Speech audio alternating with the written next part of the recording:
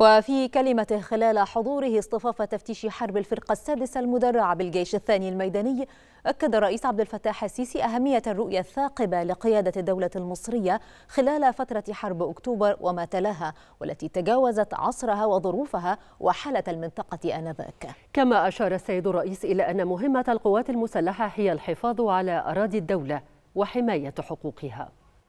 إن بعد 51 سنة القيادة اللي كانت بتقود الدولة المصرية في الوقت ده كانت قيادة لها رؤية بعيدة جدا جدا واستطاعت إن هي تتجاوز عصرها وتتجاوز ظروفها وتتجاوز الحالة اللي كانت موجودة فيها منطقتنا. وكانت بتقول إن إحنا قاتلنا من أجل السلام. نستعيد أرضنا؟ وهي دي مهمة القوات المسلحة هي الحفاظ على أراضي الدولة وحماية حدودها.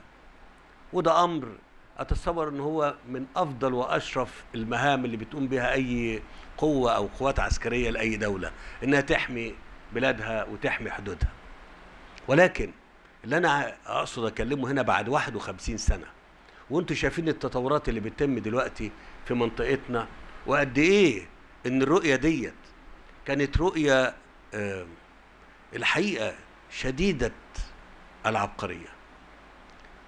وما تحقق فيها بيؤكد بيؤكدوا دلوقتي الآن إن كان كان كان سبق للعصر. وتحقق لمصر السلام وبقى السلام من الوقت دوت وحتى الآن هو خيار استراتيجي للدولة المصرية. وهنا أتوقف عند نقطة مهمة أكد عليها.